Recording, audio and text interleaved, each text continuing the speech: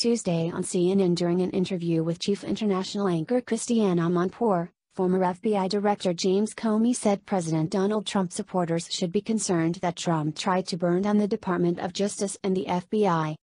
When asked about the president referring to the Mueller probe as a witch hunt, Comey said, First, take a look in the mirror and ask what happened to Bob Mueller and the mean being corrupt and evil in a nest of deep state traitors that they reached a conclusion that the president is happy with. Just don't move in front of that. Your president tried to burn down the Department of Justice and the FBI and that matters. Take a look in the mirror and ask what you have learned from that experience. Second, you have fired all of us if we didn't investigate what we learned in the summer of 2016 when we got smoke, not fire, but smoke that Americans might have assisted the Russian effort. We had to investigate that and no serious person could think otherwise, and it was done in a serious way, and it reached a serious result, and now we all ought to get transparency on